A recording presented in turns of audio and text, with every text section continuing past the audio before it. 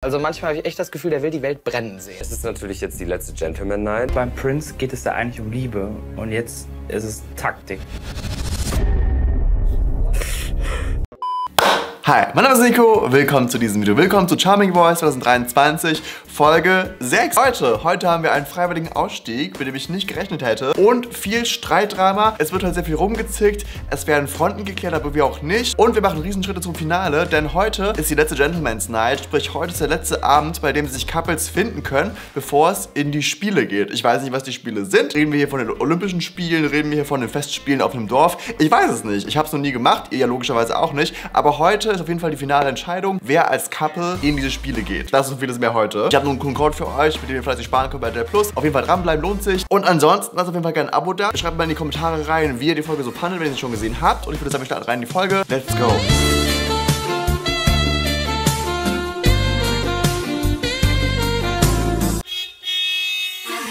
Da ist jemand Neues. Nein. Was? Was? Oh mein Gott! Nein! Habt ihr Bock auf Spritzen und Partys? Was war denn mit der Absprache, die in Köln getroffen worden ist? Maurice, sag, was dein Anliegen ist. Dass du einfach ein falsches Spiel spielst. Also manchmal habe ich echt das Gefühl, der will die Welt brennen sehen. Für all die es nicht mehr wissen, weil es ja auch so unoffensichtlich ist, hier nochmal kurz, wer jetzt hier gerade ein Couple ist. Rudi und Sebastian sind ein Paar. Gefunden haben sich auch Lukas und Aaron. Ganz wild aufeinander sind Philipp und Nick. Leon und Jan Mike würde ohne einander etwas fehlen. Bei Martin und Kevin Schwesternschaft statt Liebe. Und noch auf der Suche sind Basti, Vladi und Maurice. Ja, neuer Tag, neues Glück. Das Maurice-Aaron-Drama ist zurück. Morgen.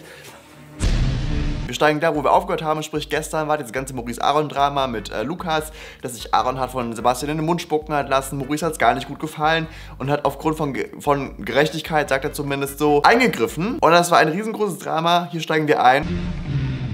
Natürlich ist die Situation, glaube ich, noch ein bisschen angespannt. Ich bin gespannt, was mich heute erwartet. Ähm, das Gespräch mit Aaron steht noch aus.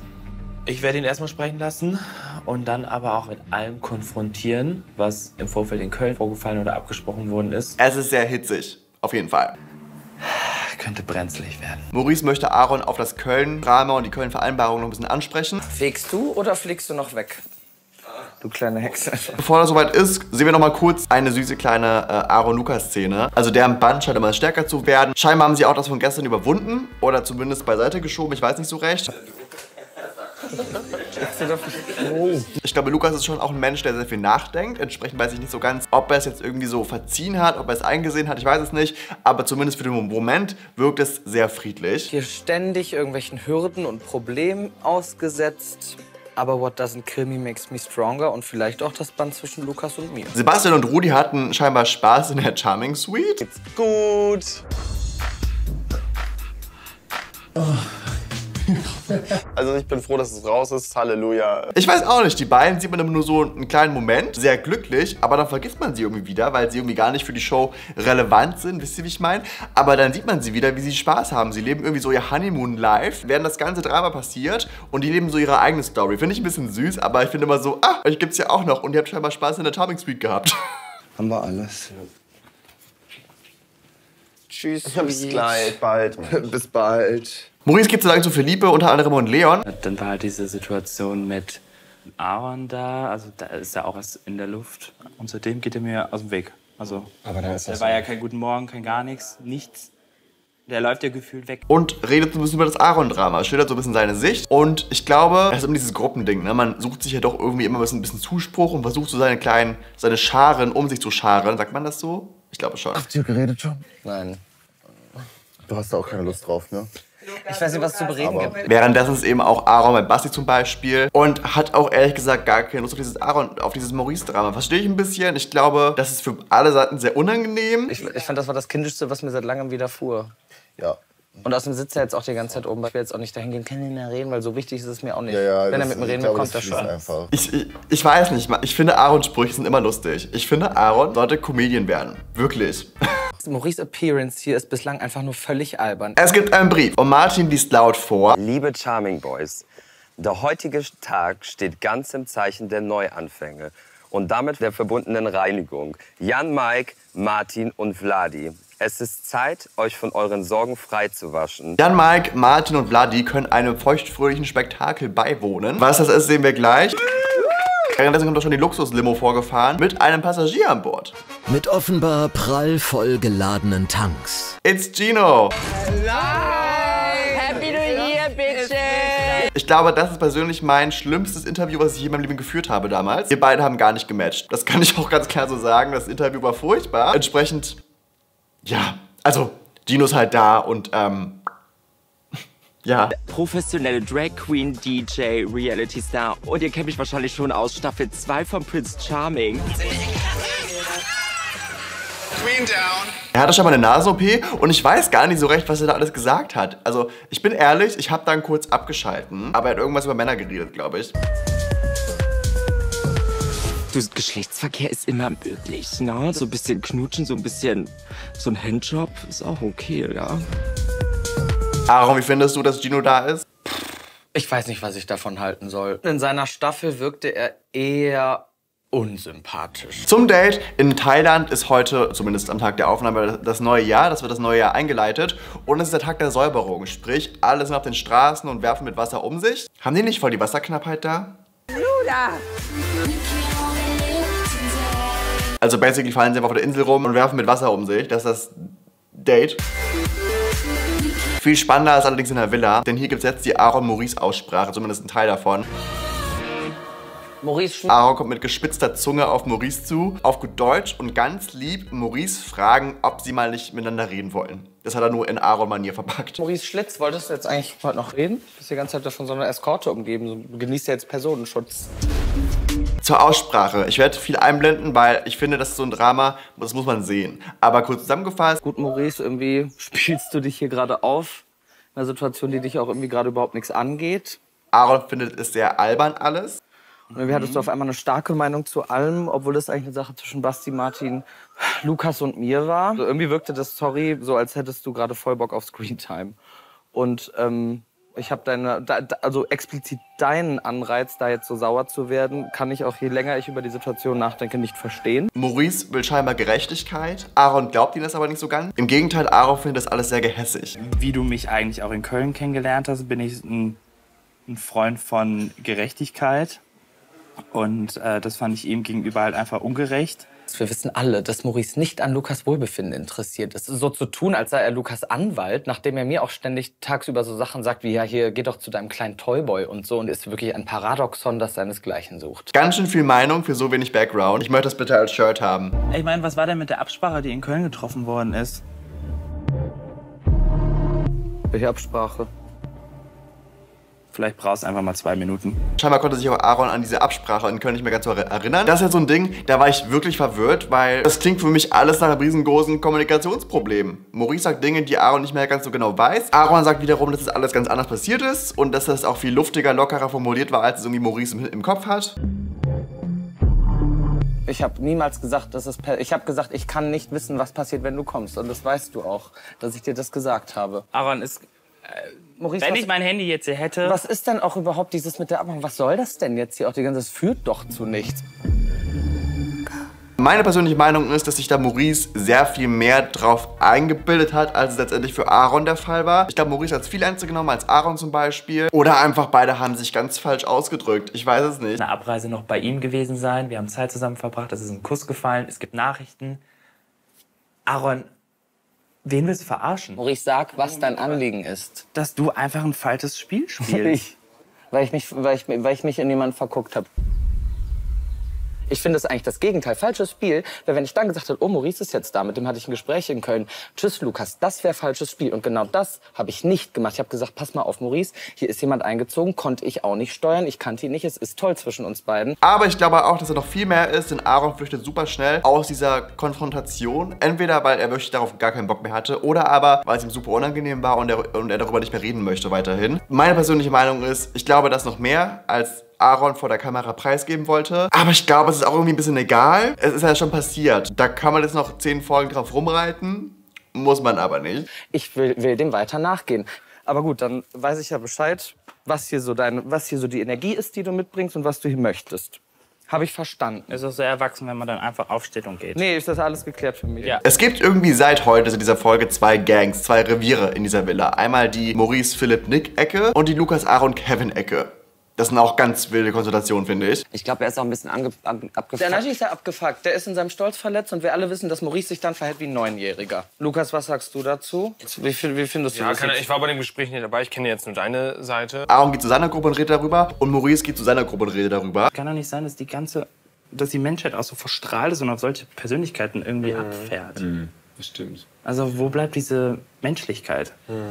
Und die bringt ihr halt ins Haus. Es gibt da jetzt irgendwie auch keine Lösung, ehrlich gesagt. Sie gehen sich einfach aus dem Weg und leben ihr Leben irgendwie. Das Thema ist durch, der Typ ist durch. Was ist denn eure Meinung? Gerne mal in die Kommentare schreiben. Ich glaube, die Wahl liegt irgendwo in der Mitte. Ich glaube durchaus, dass Maurice ein Mensch ist, der sehr schnell eingeschnappt ist oder sich zumindest sehr schnell betrogen fühlt. Und ich glaube auch Aaron wiederum ist ein Mensch, so ein Lebemensch. Ich glaube, Aaron möchte einfach das Leben genießen und ganz klar, wenn, wenn dieses Lukas-Aaron-Thema wirklich echt ist und nicht nur ein Spiel ist, um zu gewinnen oder so, dann ist das ja schön. Wisst ihr, wie ich meine? Da muss man ja nicht irgendwie jetzt irgendwelche Vereinbarungen raufkramen. Wenn Aaron scheinbar auch gesagt hat zu Maurice, wenn was passiert mit anderen Kandidatinnen in der Villa, dann ist das so. Dann ist diese Vereinbarung hinfällig. Wenn das wirklich so passiert ist, dann ist ja alles fein. Das große Problem daran ist allerdings, wir waren alle nicht dabei und sehen nur den Schnitt. Das ist doof. Ich habe meine eigene Meinung dazu und das ist einfach Fremdscham für mich.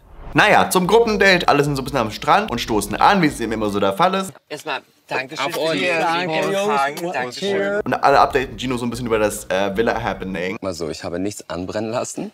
Und ja, generell, also es haben sich schon ein paar Couples gefunden, tatsächlich. Und ich würde sagen, jetzt ist eine echt schöne Stimmung. Da haben wir auch Ginos Motto für diese Staffel. Spaß, Chardonnay und Schwänze. Ich glaube, das ist allgemein auch Ginos Lebensmotto. Kann das sein? Das ist alles in der Villa vorhanden. Äh, sehr, sehr schön. Ich sehe auch ihn in seinen Insta-Stories immer nur an seinem Balkon sitzen und über das Leben beklagen. Ich glaube, es ist zu viel Chardonnay und zu wenig Spaß. Sehr schön. Sehr, sehr schön. Gino will auch mit Vladi auf ein Einzeldate gehen, weil er die anderen schon kennt. Das ist ja auch voll legitim. Das Date ist ein bisschen low, finde ich, weil sie hocken basically in der Hängematte und reden über das Gleiche, was, über was sie auch schon gerade eben geredet haben. Wird irgendjemand rumgemacht? Was muss ich wissen? Bevor ich Nein, natürlich irgendwas nicht. mit Ich dir habe anfange. nur im Pool gesessen. Ich war ein ganz anständiger Junge. Ich habe gar nichts gemacht. Trotzdem glaube ich, dass es für Gino voll schwer ist, da reinzukommen in diese Villa. Ich glaube auch, sie haben ihn so spät reingeschickt, weil sie wussten, dass Gino da keinen finden wird so richtig und wollten ihn nur kurz als Spaßfaktor haben. Das ist zumindest meine persönliche Meinung. Und deswegen finde ich es auch voll realistisch, wenn er sagt, er möchte nur Spaß haben und das Geld gewinnen. Ich habe ja gesagt, umso, also ne, ich bin halt am Ende jetzt erst eingezogen. Weil ganz ehrlich, Leute, wer in Folge 6 reinkommt, sprich an Tag 10 oder so und alle schon richtig hart gebondet haben, dann ist das wirklich schwer, da auf romantischer, sexueller Ebene reinzukommen, oder? Also, sehe das nur ich so? Ich weiß nicht. Deshalb ist für mich der Fokus auf, ich habe Spaß und möchte gewinnen, weil ich möchte die 10.000 Euro haben, bin ich ganz ehrlich. That's it, weißt du? Mir geht's einfach nur um den Spaß. Martin, wie schätzt du es hier für Gino so ein? Wir sagen, der wird ihn höchstens einmal lutschen und das war's. Was ich lustig finde, Vladi nennt auch gleich Gino Bitch im Slang. Überraschung. Bitch, du standst da mit den Super Soakers. Bitch zu mir gesagt. Das ist kein Problem, ich kann das handeln. Ich finde, da merkt man sofort, dass die beiden nur auf rein platonischer Ebene funktionieren, was man auch sofort merkt, finde ich. Wir äh, gehen wieder zu den Boys zurück. Ich bin der Fokus, nicht der Scheißmann. Okay? äh, also entschuldige bitte. Und was jetzt kommt, ist krass. Gino hat einen goldenen Brief in der Hand und muss jetzt sofort entscheiden, wer von den drei, Jan Mike, Vladi und Martin, sofort die Villa verlassen muss. Also es war natürlich klar, dass irgendwie so eine Scheiße passiert. Scheiße, also, also damit hätte ich nicht gerechnet. Okay, Und er wählt Jan Mike. Sei mir nicht böse. Bin ich nicht, auf jeden Fall nicht. War Wir ein sehen uns in Tag Zürich. mit euch. Aus dem gesehen, hab's mega genossen, auch die Reise. Bin dankbar um den Moment, wo wir ihn hatten. Wir haben Jan, Jan Mike sowieso nicht oft gesehen, entsprechend haben wir nicht wirklich eine Bindung aufbauen können. Komm her. Ja. Ich weiß nicht, ist das jetzt ein Verlust für die Show? Ich weiß es nicht. War schon traurig, dass Jan Mike gehen muss. In der Villa macht Kevin eine kleine Madonna-Performance. Und was soll ich sagen? When you call my name, it's like a little prayer down on my knees. Wenn es bei Charming nicht mehr klappt, geht's für Kevin zum ESC. Ich bin ehrlich. Hear your voice. Oh. It's like an angel. Nach dieser Performance kommt Gino mit einem riesengroßen Trommelwirbel in die Villa rein. Jan Mike ist nicht mehr unter uns. Ja, Schwester dazu gewonnen. Schwester!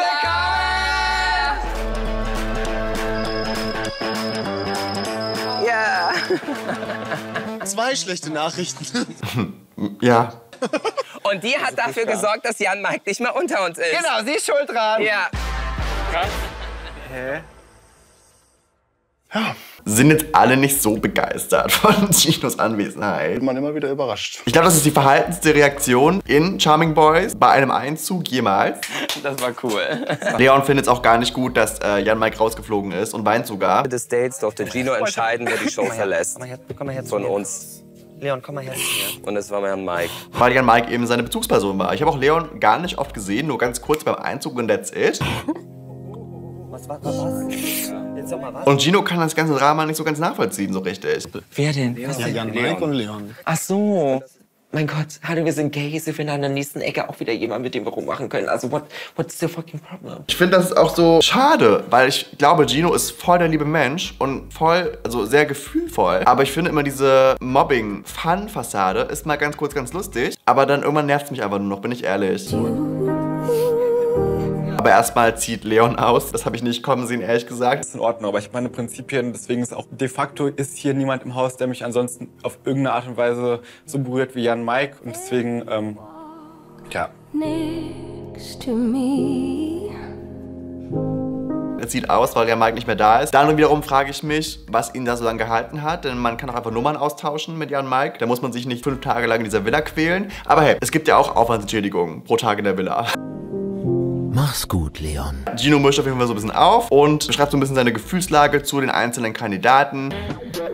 Maurice ist auch so ein Fall, der, ob, wo ich mich so frage, hast du überhaupt Spaß im Leben mal gehabt oder kennst du Spaß im Leben? Aber ich muss auch ganz ehrlich sagen, äh, also ich habe mir Aaron auch anders vorgestellt, ne? Ja, ist das Mobbing? Ach so, okay, sorry, sorry, sorry, sorry, sorry, sorry. Aber schon mit den zwei Nippelpiercings mh, sind wir 1990, Britney Spears Baby One More Time. Und wie alt ist der? 14? Nee. Schon, finde ich. Ich bin halt jemand, der am ersten Sekunden entscheidet, ob er jemanden mag oder interessant findet. Und das Problem ist, ich finde hier, glaube ich, fast niemand interessant. Ja, ich weiß auch, dass es irgendwie sein Charakter ist, seine Identität, das ist auch seine Rolle irgendwie. Ist halt nicht meine Rolle. Die alle sehr. Cut hier mal an dieser Stelle. Also ich habe gedacht, es ist ein bisschen hier passiert, ein bisschen mehr. Während Martin und Gino gerade über Philipp reden, weil Philipp irgendwie der Einzige ist, den Gino so ein bisschen interessiert. Nick hat für mich einfach einen perfekten Körper. legt Philipp gerade Nick flach in der Charming Suite. Da geht's um jemand ab. Ja, es wird gelutscht, es wird geduscht, es wird wild gestöhnt. Nochmal, ja, wieder andere Seiten an uns kennenlernen. Ja, die äh, inneren Seiten. Ich finde das so süß, die beiden. Man sieht, also die Szene war jetzt, würde ich nicht als süß beschreiben, sondern eher als hot, aber im Sinne von, ich finde die beiden zusammen voll süß irgendwie. Ich finde das so krass, wie es bei den beiden sofort geklickt hat, ne? Also Nick kam herein und die beiden haben sofort gebondet.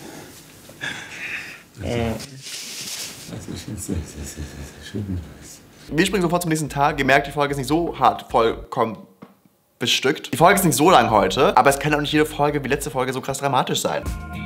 Ich hätte nicht gedacht, dass ich hier reinkomme und Menschen wie Philipp kennenlerne. Und Bei Rudi und Sebastian kriselt es langsam, denn Rudi hat gestern mit Maurice so eine Art Spiel gespielt vom Schlafengehen. Das fand Rudi gar nicht toll.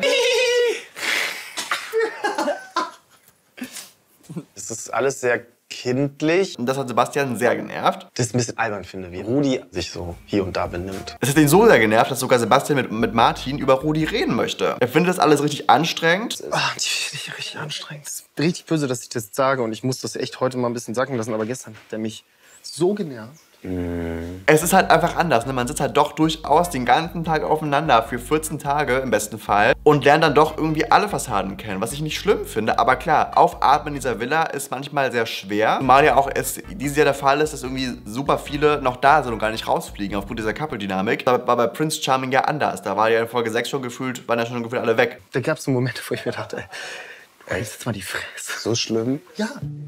Naja, Sebastian und Rudi zicken sich auch ein bisschen weiter an. Boah, hat's mich genervt. Wie so zwölfjährige Mädchen, mit denen ich da gestern im, im, im. Ja, das ging ja noch die ganze Zeit weiter. Das war lustig. Ja, es war so witzig. Oh, ist auch gut, dass wir nicht in allen Lebenssituationen übereinstimmen. Sebastian. Ich glaube aber auch, also Rudi nimmt das Ganze ein bisschen entspannter. Vielleicht müssen die beiden mal kurz einfach getrennte Wege gehen und mal kurz aufatmen im Pool oder so. Ja, Rui. Rui. Ja, heute kriselt es einfach sehr, Leute, denn jetzt auch ähm, führen Lukas und Aaron auch so eine kleine Knickknack-Diskussion, weil Aaron, würde ich sagen, im Vergleich zu Lukas durchaus sehr offen ist. Ich sein Gesicht dadurch nicht. Dass man sein Gesicht verliert, ist ja nur eine vermeintliche Idee der Gesellschaft. Das ist der Slutshaming. Jemand, der viel Sex hat, verliert sein Gesicht. Für ihn ist das was Besonderes und er möchte auch das nicht mit jedem sofort teilen, sondern erst wenn es sich ergibt und auch matcht und Co. Aaron wiederum sagt dann, ja nee, was hat das mit Beruf zu tun? Das ist doch voll veraltet, dieses System. Ich möchte Spaß haben im Leben und fertig. Und äh, dem gehe ich dann nach. Ist das dann so? Ja. Ich stecke mit so vielen, wie ich will, ja. Nee, sowas feiere ich gar nicht. Ich habe da voll Abturn auf sowas. Ich kann beide Seiten verstehen. Ich persönlich bin irgendwo so in der Mitte. Aber das ist so ein Punkt bei den beiden gerade, der ein bisschen kriselt. Damit so offen umgehen, für mich verlieren die ihren Ruf. Warum tun sie das? Hä, weil ich doch niemanden haben möchte, der sich schon durch ganz Hamburg rumruft. Da gibt es eine kleine Diskussion. Also geht es hier um Angst vor Krankheiten? Auch. Und wenn ich sage ja, zum einen ja, natürlich möchte ich meinen Ruf nicht verlieren, aber ich habe auch nicht das Bedürfnis dazu. Das ist alles fein. Für mich sind das ja mehrere Punkte. So, und da du mich jetzt gerade anguckst, als hätte ich dir mit einer Bratpfanne von hinten auf den Kopf gehauen, fühle ich mich unverstanden. Aber es gibt auch keine Lösung, außer halt einen Kuss. Ich habe das Gefühl, die beiden klären alles immer mit einem Kuss. Oh. Stopp, wir küssen uns einfach und dann ist die Diskussion vorbei. wir springen zur Happy Hour. Alle machen sich ready. Rudi findet Sebastians Outfit nicht ganz so hübsch. Ja oder nein? Äh. Ja oder nein? Ja. Sebastian rennt sofort zu Martin und updatet Martin über Rudi. Das passt also jetzt gerade auch schon wieder. Soll ich die Kette tragen oder nicht? Also, nee, sieht scheiße aus. Und ich denke mir halt, ey, ist jetzt nicht schlimm. Oder er mag es nicht, halt so hat es gesagt. Und Lukas und Aaron updaten sich gegenseitig über sich selbst. Ist ja auch schön. Ja, mich hat das auch kurz beschäftigt, aber dann dachte ich so, ja, ey, das ist normal. Also, dass man diskutiert und auch unterschiedliche Meinungen hat. Ich finde dich weiterhin toll. Wird direkt wieder versöhnt mit einem kleinen Kuss. Ist doch süß. Wir springen sofort zum goldenen Brief, der gerade in die Villa kommt. Es ist die letzte Gentleman's Night, wie gesagt. Liebe Charming Boys, es ist Zeit für die letzte Gentleman's Night. Krass. Also ganz ehrlich, heute wird natürlich entschieden, wer ein festes Couple ist und wer letztendlich in die Spiele darf. Vertieft eure Bindung oder orientiert euch noch einmal um, denn das Finale der Charming Boys rückt immer näher. Und alle sind ein bisschen verrückt. Ich auch, weil ich check gar nicht, was abgeht. Was für Spiele? Was für Spiele? Olympische Spiele.